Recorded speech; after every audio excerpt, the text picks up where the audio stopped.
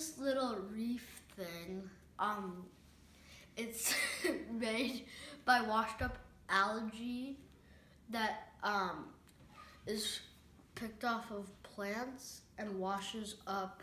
It washed up to Mexico or the Gulf of Mexico, and it grows up into coral. And then there is this, there's this kelp thing. Uh, it might be a type of seaweed. I don't know, but it grows there at the entrance of it Mm-hmm.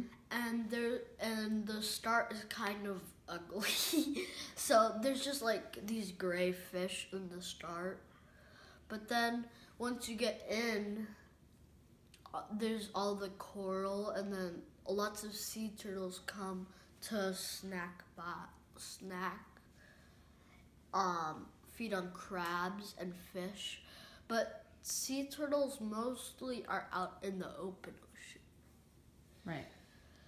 so they there's lots of fish that live there. It's home to many animals, but sea turtles just come to snack and take a rest. Yeah.